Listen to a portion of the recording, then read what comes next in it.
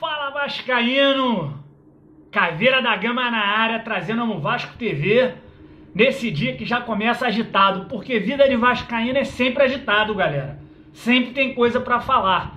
E a gente vai falar aqui da primeira coletiva do Jorge Salgado. O Jorge Salgado sentou lá em São Januário, do lado do Campelo, para dar a entrevista coletiva dele. E a gente vai analisar o que, que ele falou desse início de trabalho do Salgado no Vasco. O cara já está trabalhando. E vamos falar também sobre o Levenciano. O Levenciano quebrou o gelo e deu um, um recadinho aí, beleza, galera? Ó, você que tá chegando agora, se inscreve no canal se não é inscrito, já desce o dedo no like, é de graça. E vamos junto, vamos analisar tudo isso aí, beleza? Solta a vinheta. Então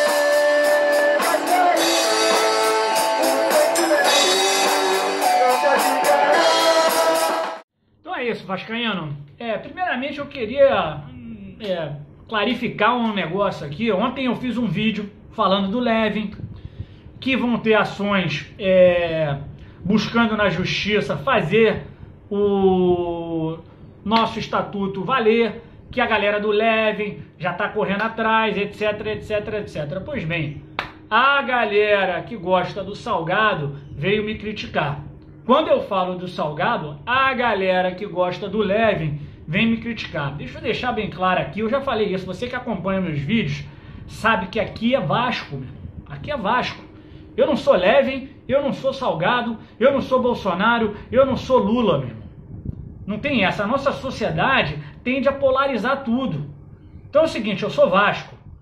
Só que todo vascaíno tem uma preferência. E eu não fico em cima do muro. Caveira não fica em cima do muro, galera. Entendeu? Tem gente que não quer dizer se prefere X ou prefere Y. E eu falei aqui que eu preferi o Levin, que eu apoiei o Levin. Eu deixei bem claro isso. Mas eu venho falando desde quando deu salgado, eu fiz uma análise aí que você pode ver nos nossos vídeos do que esperar do salgado. E eu falei coisa boa do salgado. Sabe por quê? Porque tem coisa boa. Entendeu? E já começando a analisar aí a, a gestão do Salgado, Salgado ontem sentou na mesa, já fez a coletiva dele, chegou com Alexandre Campelo, Campelo já apresentou ele como presidente, né? O cara já começou a trabalhar. E ele já, de começo, já abriu a coletiva falando que ele quer equilibrar as finanças e montar um time forte. Então, meu amigo, o que vem por aí é a tal famosa da austeridade. Queria trazer uma reflexão aqui, galera, é... sobre uma linha, essa linha do Salgado, que o Salgado está trazendo, que é mais ou menos a mesma do Alexandre Campelo, porém com uma grande diferença. Ele vai fazer de início, Deus queira, né? É a proposta dele, uma coisa que o Campelo não conseguiu fazer.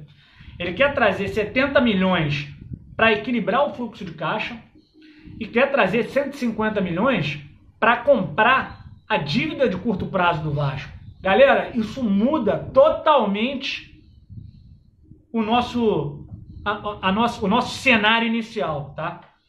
Porque caem as penhoras, deixa de ter salário atrasado, beleza? Agora uma reflexão. Você lembra quando a torcida do Vasco começou a falar de bandeira de Melo?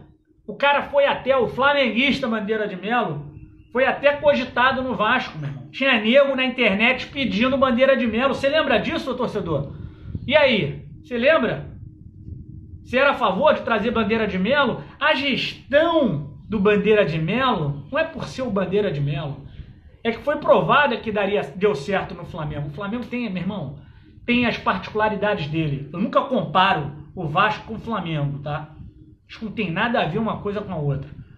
Porém, a, indiscutivelmente, a linha do Bandeira de Melo foi discutida para ser trazida no Vasco e o Vasco ainda estava querendo que isso fosse trazido para o Vasco. Pois bem, irmão, Salgado é exatamente isso, tá? E trazendo essa, esses 220 milhões, realmente são 220 milhões de reais para começar a gestão. E eu posso te dizer, meu amigo, é totalmente diferente do que o Alexandre Campelo fez. Porque o Alexandre Campelo pegou o Vasco devendo salário e pagando salário atrasado, entendeu? Então tem isso, galera. Vamos pensar nisso também, tá? iniciando essa análise aí. E aí, galera, 220 milhões ajudaria o Vasco comprar dívida de curto prazo e 70 milhões para para gerir esse início aí de mandato? O que, que você acha? Outra, outro ponto da coletiva do, do Salgado foi ele falar sobre a equipe dele, né? Uma equipe profissional. É, o Osório também falou sobre isso. O Osório falou que muito provavelmente seria o melhor quadro da Série A. E realmente tem muita gente ali que me agrada, tá? Eu falei isso, venho falando isso nos vídeos quando eu analisei a gest possível gestão do Salgado, que tem alguns caras ali como Marcos Amorim, que a gente ainda não sabe se vai estar lá diretamente com uma cadeira, é, o Adriano Mendes, que é um cara que, pô, todas as vezes que ele falou, me chamou a atenção pelo nível do discurso dele, sem ataques, falando em números. Agora, é um cara de número, tem que ter um equilíbrio entre número e paixão, tá? Isso daí é uma coisa que o, o cara do futebol, o cara do marketing ali ao lado do Adriano Mendes, tem que ter um cara para segurar, mas tem que ter um cara para soltar. Então a equipe que ele está montando é uma equipe profissional de gestão para gerir o Vasco como empresa, né? Me chamou muita atenção que eles vão dividir o marketing em quatro, em quatro setores. Você mídia, relacionamento, novos negócios e comercial. Essa do comercial, cara, é algo que realmente eu tenho comigo há muito tempo que o Vasco precisa um foco muito forte no comercial dele. Alguém com força para abrir portas para o Vasco da Gama. Que o Vasco hoje tem os piores patrocínios. O Vasco hoje tem parcerias que antigamente não tinha nem parceria, hoje já tem parceria, mas são parcerias que não são tão rentáveis para o clube, entendeu? Pelo menos para o tamanho da marca Vasco da Gama, entendeu? O Vasco precisa se posicionar e isso que eu gostava no Levin, mais uma vez falando, do posicionamento, entendeu? Posicionamento de quem tem 20 milhões de torcedores nas costas, meu amigo. Entendeu? Que às vezes parece que o Vasco se posiciona como o América, o Bangu. Nada contra o América e o Bangu, cara. Mas o posicionamento é outro, cara. Não dá para comparar o Vasco com o posicionamento do Vasco, por exemplo, com o posicionamento do Fluminense, cara. O Fluminense é muito menor, cara. O posicionamento do Fluminense, de repente, vai ser, olha, pô, a nossa torcida é elitista, tem um poder de consumo grande. Meu irmão, o Vasco é povo. O Vasco é o clube do povo. O Vasco tem 20 milhões de torcedores.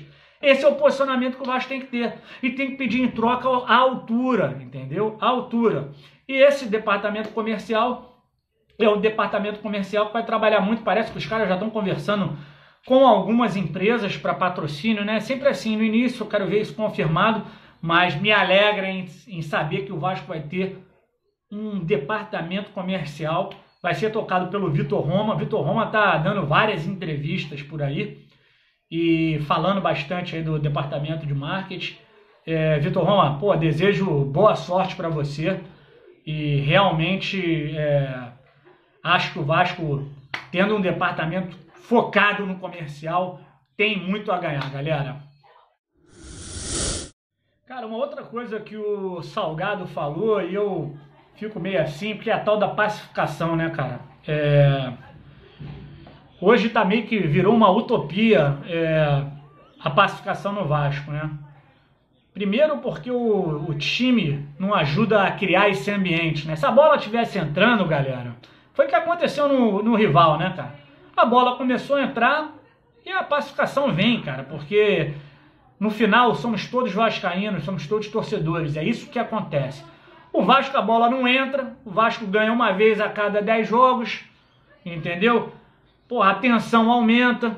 Só que o Salgado disse que vai fazer de tudo pela pacificação do clube, né?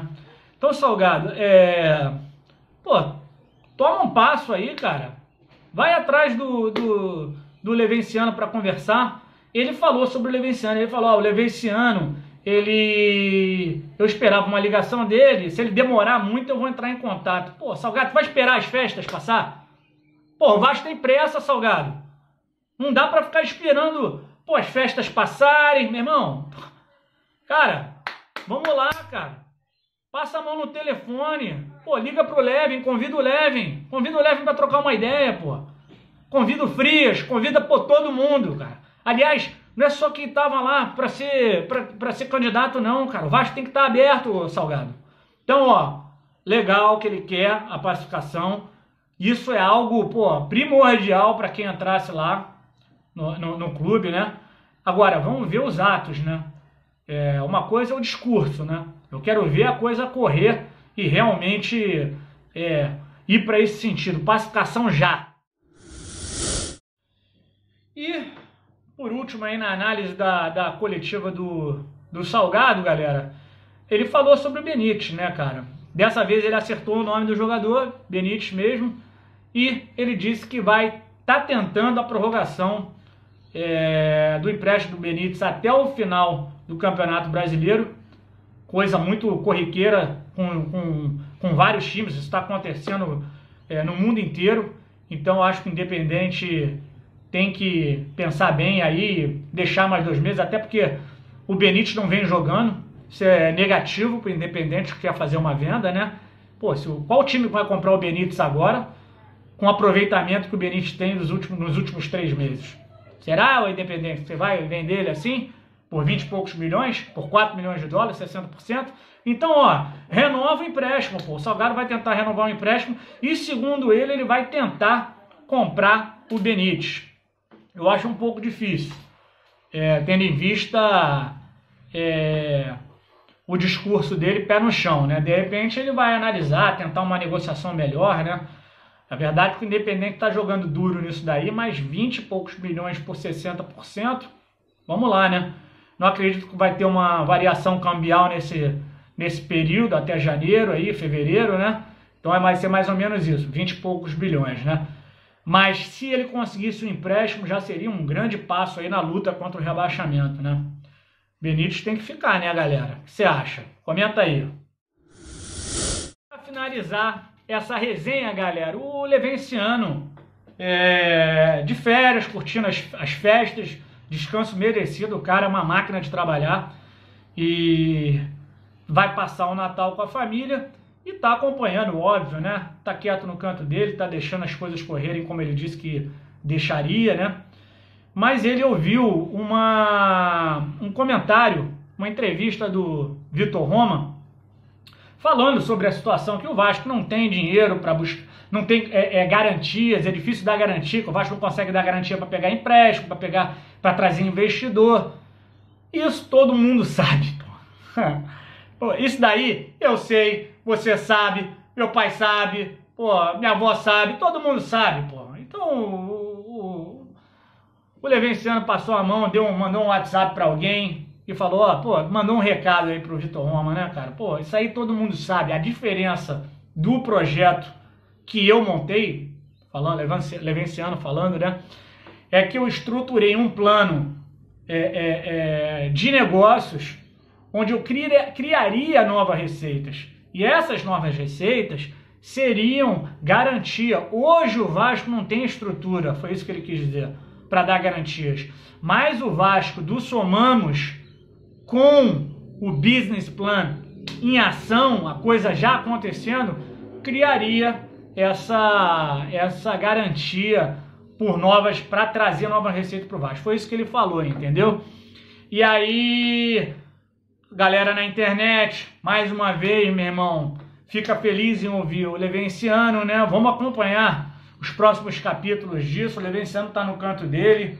A gente já sabe das ações que devem estar tá é, pingando na justiça é, nas próximas semanas aí. A gente está de olho em tudo aqui. Qualquer novidade, galera, a gente vai trazer para você. Beleza, galera? Ó, chegou até o final, não deu like, solta o dedo no like, galera. Beleza? Se inscreve no canal e a gente volta hoje à noite. Beleza? Saudações vascaínas.